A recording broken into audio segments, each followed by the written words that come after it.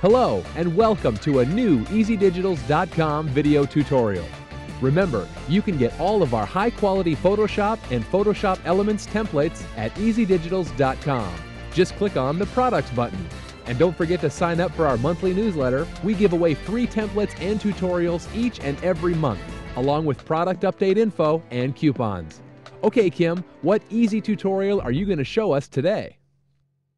My last video I showed you my post-processing procedures and in this one I just want to show you another plugin that I think is really fun which is called Topaz Adjust.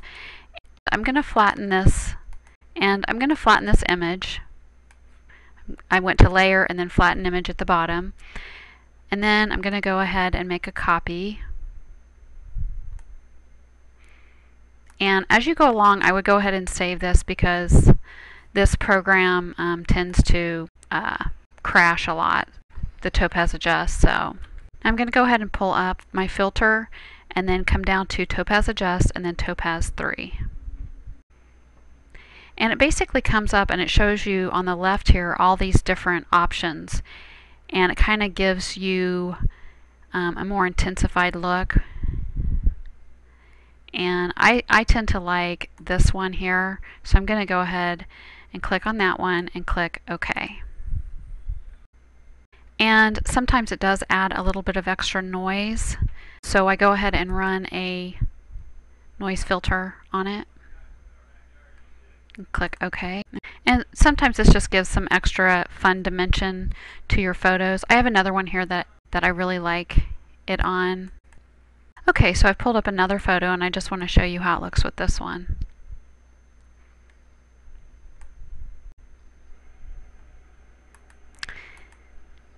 And this one I think has a lot of fun options that look really nice. Again, I tend to like um, small details. I, with the shininess of the jersey, it just really adds some nice touches to it. They're psychedelic. Let's go ahead and try that one.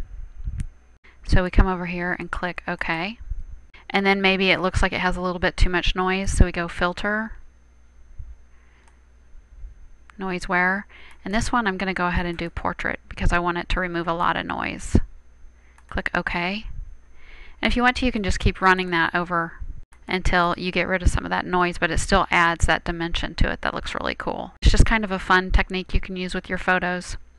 So enjoy. Hey that was easy. Thanks for watching if you have any questions about this tutorial or any of our products, you can always reach us at easydigitals.com. Have yourself a creative day.